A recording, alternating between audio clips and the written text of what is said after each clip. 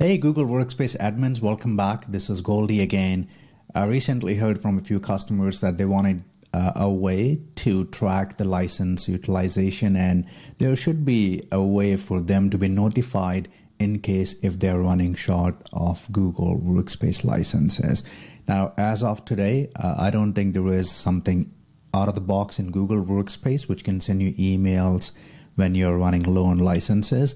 So I thought to just use a bit of Google uh, App Script along with Google Sheet to make it a quick solution. So uh, let's talk about the recipe of the solution and then I'll show you the quick demonstration. Uh, you know where you can just simply copy my google sheet with AppScript to make the solution work for yourself. So there would be three things in the recipe. First one is that we need purchased license quantity that you already have if you're using workspace. Second thing that we need is the number of licenses that we have consumed so far. And then our, our formula would be you know uh, purchase licenses minus consumed licenses is equal to the licenses that we have today. And if they meet the threshold that we will define in our Google Sheet, then Google Apps Script should be sending us an alert that this is the right time to purchase licenses. Okay. Uh, our solution, and finally, we need to automate it so that once we set it up, it just keeps on working by itself. So our solution components will be number one, you will copy the Google Sheet with AppScript that I'm going to share in a few minutes now. And then you will enter the number of licenses that you have purchased. You will define the threshold uh, on which you want to receive email alerts. You will also provide the email address where you want that alert to be sent. And then finally, we will set up a cron job so that this whole uh, automated uh, program can keep running. So with that, let me share my screen and show you what exactly you need to do step by step to make it work in your environment. Okay, so the first thing that you should do is go to this URL that's called goldyarora.com slash license hyphen notifier. I'll put that in the description so that you, you can simply click and come here. Once you come here, you can see the video. This is the video that we are making it now. Once you come here, you will see this video. This is the one that I'm making it now. Uh, and if you scroll down, you will find the app script. If you really need to just copy and paste script, but there is a better solution, you can simply click on this copy uh, Google Sheet button, which will take you to a page saying this is how you can make a copy. Now, if you do not see this and if you rather see you need access to this sheet, that means in your admin console you have some sort of uh, drive sharing rule that is not allowing files with anyone with the link to be accessed. So you should better be checking uh, in admin console if you're an, an admin. Okay. Uh, assuming you can receive files which, which are shared with anyone with the link, you will see this screen and you will just click on make a copy and once you do that, it will copy the Google Sheet, including the Google App script running behind it. Okay. So, you know, now once the sheet is copied, it has no connection with me. So it is just yours. So if you want, you can just, you know, change uh, the title and just leave the license notifier here as it is. Otherwise, if you change it, you will also need to change the script. Okay, so once you're here, just go to extensions, click on app script, and here you will see the script that came with this sheet. And it also has license manager service installed. Uh, because that is required to call Enterprise License Manager API. So when you run it for the first time, all you need to do is just click on this run button okay and it will ask for your permissions for the first time so that you know it, it, it can get your authorization to read some data from license manager api and then write it back to our google sheet. So when i click on review permissions it says this is uh, the authorization that you're providing. It should be able to view and manage your google workspace licenses it should be able to create and edit delete sheets because we need to output data back to the sheet and then finally send email as you because you need to send emails to your admins say you will go ahead and click allow because after all it's a local script it's not connected to me anyhow and the script is executing. Uh, oh, the number of rows in the range must be at least one. Get licenses code 39. Okay, 39. What does it say? Uh, okay, maybe by the time you're going to use it, either I'll fix it. Okay, don't worry. It's a, it's a first time error, so you can just ignore it. Okay. Now, when you go back, you will see that the first two columns are filled uh, by the sheet itself. Okay. So it tells us the email address of the users in your domain, and then in front of that, it tells you which license is assigned. So if one user has multiple licenses assigned, you will see that user multiple times along with that specific license that had, that has been assigned to that users. Okay, so now we have these in this information. What we will do next is we'll come here and just write a quick formula so that we can get some unique uh, license uh, SKUs here. So I'll say is equal to unique and uh, let's do this and we don't need the header itself so we will say start from uh, B2 okay? Now these are the SKUs that we have purchased so far. In your case it might look a bit different. Now one uh, watch point is Google License Manager API does not report back the cloud identity free licenses, so you will not see them here. And after all, they're free licenses. So I don't think if if it's concerned for you, but just wanted to mention it. Okay. Now, license procured. These are the numbers that you will be putting here. Okay. So before that, let's put a formula here under license consumed. So I will say is equal to count if and I'm saying count if this equals this okay and Google is smart enough to give me some suggestions here so essentially what I did I said give me the license count of each of these uh, from these okay so now we have the license consumed okay now in terms of license left it will be a simple formula. So first, let's put just, let's assume we have purchased 20 licenses for all of them. So this is the number that you would have. Uh, or maybe here we can say we have purchased, uh, let's say 30 licenses, not 30, maybe, uh, let's say 38 licenses. Okay, and here this is called license left, and every setting that you're doing here is just one time. So then you will say is equal to. So is equal to procured minus consumed. Okay, and let's drag it here. So now these are the licenses left. Email address to notify when the threshold is reached. Uh, so I would recommend you to put the group, group email address here. So that'll create a Google group inside your admin console and put it here. For now, just to test it out, I'm going to put my individual email address. And I will say uh, the threshold is, let's say, uh, maybe 10. Okay, in your case, all these figures might be different.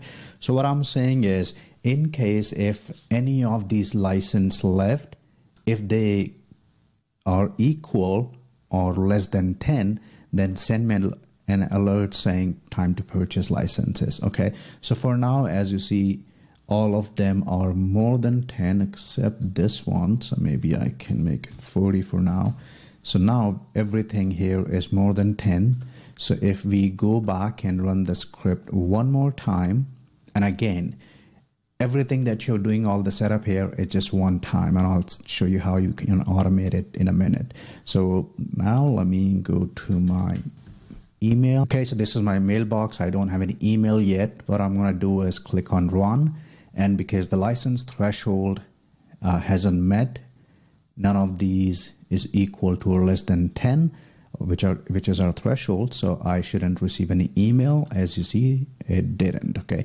but now let's say we call it that we procured actually 38 licenses. Okay, or maybe 39 licenses. So our threshold is meeting for this specific license.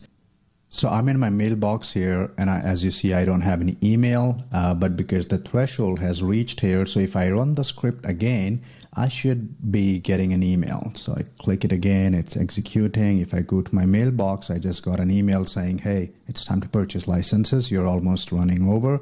When I click on this link, it takes me back to our Google Sheet, which means you also need to do two small things here. Number one, uh, take the sheet that you copied, like this is your sheet, copy the URL, and then go back to the script.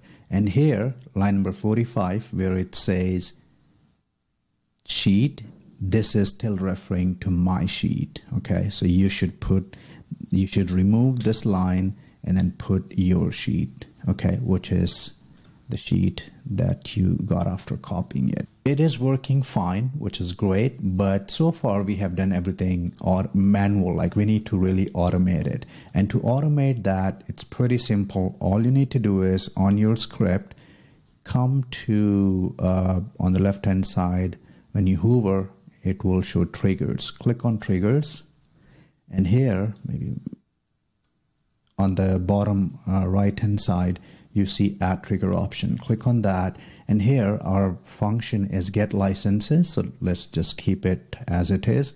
Uh, choose which deployment should run, should be head. Now event source should be time driven. So you can select that. And here you can choose how frequently you want this script to run. I would recommend may maybe doing a day timer so it runs like once a day, maybe every morning. So once you select day timer, then you can say run it every morning, maybe uh, somewhere around uh, 8 to 9 when I come to the office. For now, just to show you how it's going to work, I will better change it to the minute timer. And uh, let's do every minute and let's say notify me right away in case if script faces any issue. Now we just made a cron job which will keep calling our script and it will just keep on running by itself. And when we come back to our sheet, you will notice that every time when the script runs every morning for you, these two columns will be updated, which means all the columns here which are referencing to these two columns will also be updated. For example, SKU name, the, this will be updated, licenses consumed will be updated, licenses left will be auto updated. The only columns that, that will not be updating are license procured because these are static figures that you will need to put and also these two columns. Other than that, it's ready to work. So let me do one thing. Let's do, let's say we acquired 40 licenses, okay, which means the threshold is now not meeting 10. So we should stop getting these uh, emails, okay? So we we are not getting any emails now, but now I will go back to my admin console. Okay, and let me create a new user here and assign a, a license. And let's call this user license notifier. Okay, license notifier. Okay, new user. Done. Okay, Let's search for this user.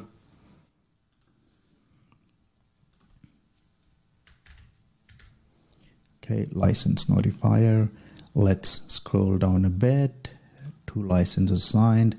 Let's assign the G Suite, not Google Workspace Enterprise Plus to this user.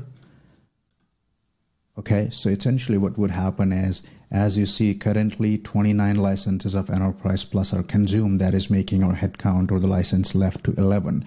As soon as I, I assign this license, this 29 should become 30, the license left should become 10, which meets our threshold, and we should get an email. Okay, it, as you see, the script is running every minute, but we are not getting email because we haven't met the threshold yet. So I'll go and click on save.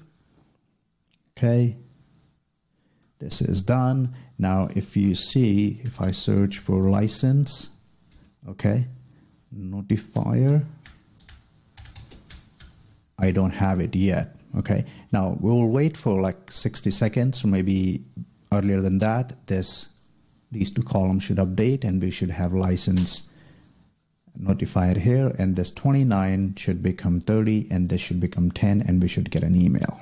That's the power of Google Apps Script cron jobs because unlike a virtual machine which you set it and you know you need to keep running it every time with AppScript it's it's javascript in the cloud so you can just put it there and it keeps on running without the infrastructure need. And as you see here uh, within a few seconds uh, now if i search for license notifier again you will see that we got it here at next run it says enterprise plus which made our license consumption from 29 to 30 and uh, the license is left also reduced, reduced to 10 which meets our threshold. And if i go back uh, we just got an email saying you know license uh, you're almost over uh, so i think uh, this is it just make sure you go to license notifier script editor and i think in line 45 just remove this line and put uh, the URL of the sheet where you want your admin to go when they click the link from email.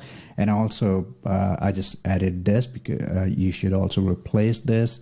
And for that, you can delete 47 to 50 uh, like this. Just make sure you don't delete the last, this, what do you call it?